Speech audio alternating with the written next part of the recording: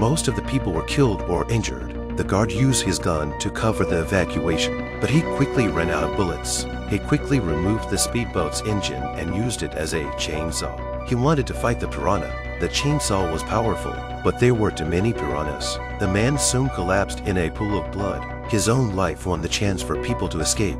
Most of the tourists escaped to the yacht. At that moment, the policewoman suddenly received a call from her son. They were also trapped by the piranhas in the middle of the lake. The cruise ship was about to sink.